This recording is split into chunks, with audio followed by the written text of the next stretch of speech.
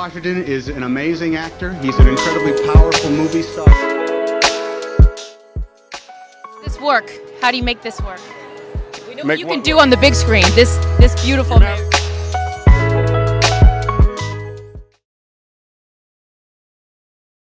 One of the biggest film icons in Hollywood, together with magnetic performances and charisma, Denzel Washington is a living legend in the world of entertainment. Whether he's playing a detective, a coach, or a historical figure, Denzel brings his A game every time. He leaves audiences in awe and always leaves them wanting more. Not to mention, this A-lister lives in one of the most coveted areas in Los Angeles, in a beautiful mansion he's owned for years, and we'll tell you all about it soon. This is Kara the Vampire Slayer, and today we'll see how Denzel Washington turned from a schoolboy from a rough neighborhood to one of the wealthiest men in Hollywood. Born in 1954 in Mount Vernon, New York, USA, the son of a Pentecostal minister and a beautician, Denzel grew up on the borderline of Westchester and the Bronx. He described his mother as talkative and aggressive and claimed that he might have gotten that from her. His father, on the other hand, was a powerful, big guy, but really a gentle man. Having his parents divorced, Denzel was sent to a private prep school in Oakland Military Academy in New Windsor, which he later described as life changing. He said, That decision changed my life because I wouldn't have survived in the direction I was going, the guys I was hanging out with. At the time, my running buddies have now done maybe 40 years behind in the penitentiary. They were nice guys, but the streets got them. In high school, Denzel played football, baseball, and then basketball in college. Denzel has said he had no idea what he wanted to do in life, so he tried several courses in college, such as chordate morphogenesis, political science, then journalism. When Denzel worked at a YMCA camp and did a show for the kids, someone told him to give acting a shot because he had a talent. After camp, Denzel transferred and enrolled at the theater department on the day school started back. By finishing his study at the American Conservatory Theater in San Francisco, his love for acting slowly developed, and soon he starred in his first movie, Wilma, in 1977. He also starred in the TV medical dramedy St. Elsewhere with William Daniels and Ed Begley Jr. While working on the TV drama St. Elsewhere with the approval of Bruce Paltrow, Denzel had to take three leaves in total from the span of the production set to make room for others' projects.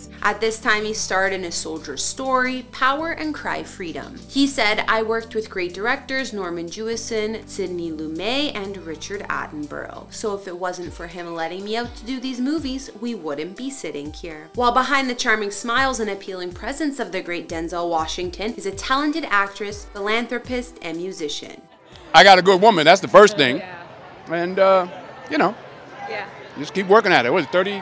Oh, oh. Oh, I'm sorry.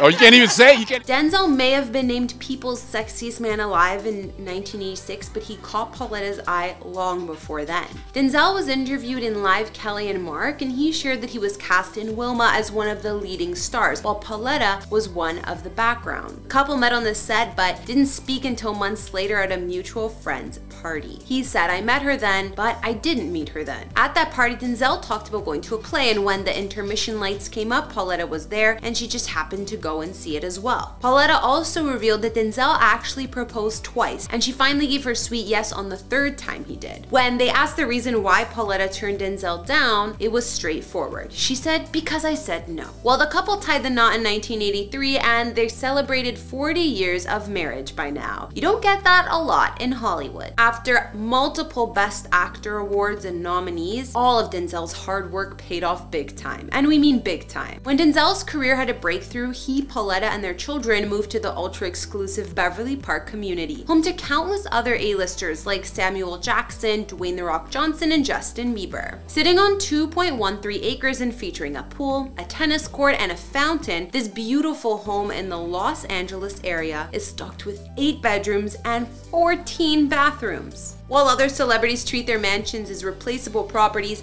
Denzel, well, he's a devoted homeowner. He's lived in this Beverly Park home for over 20 years. He's added a couple of other impressive houses to his portfolio, but he kept his first mansion as his main residence. The palatial estate has all the luxuries any person would want in a home, which is probably why Denzel never wants to leave. Surrounded by lush foliage and tall trees in all corners, the luxury home keeps the family secure from prying eyes. The gated roundabout driveway is decorated with a fountain centerpiece, the perfect thing to welcome guests. The property has two structures, a large guest house by the pool which can comfortably house a family on its own, and the stunning main mansion that would make anyone drool with envy. Surrounded by nature, the outdoor area is a great place to unwind. There's a hedge garden right across the pool area and beautiful landscaping everywhere you look. A full tennis court by the side of the house is equipped and ready in case Denzel needs a little sports action. While Denzel wasn't quite ready to let go of his mansion, he did add a couple of properties to his real estate portfolio. His most recent purchase is a bit smaller than his Beverly Hills Park mansion. Last year, he dropped $10.9 million for a luxury condo in the star-filled building The Century,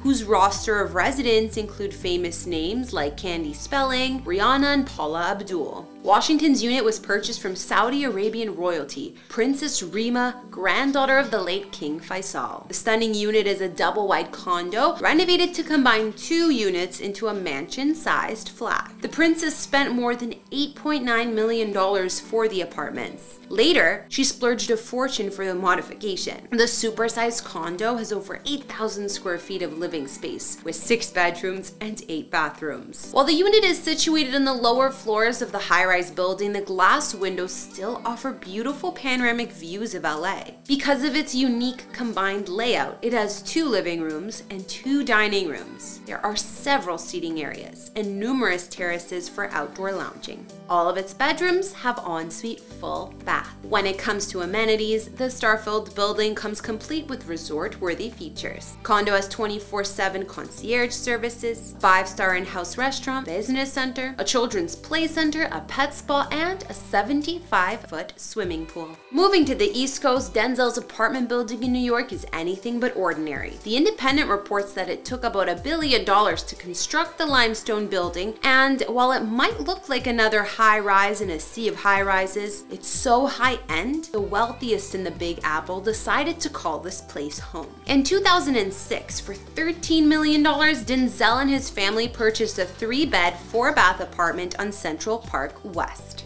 At 3,000 square feet, this place is bigger than most people's houses. Tucked inside this 20s inspired condo, you'll find a private restaurant, health center, showroom, private chefs, interior courtyard, marble columns in the lobby, and a lap pool. It's no wonder then that among the tenants are big names like Sting, Jeff Gordon, and a host of CEOs and business execs with piles of money. With his wife and kids, Denzel Washington enjoys his mansion and homes that he and his wife invested in. After looking at his life and properties, that's gonna wrap up today's video. But before you go, answer this question for me.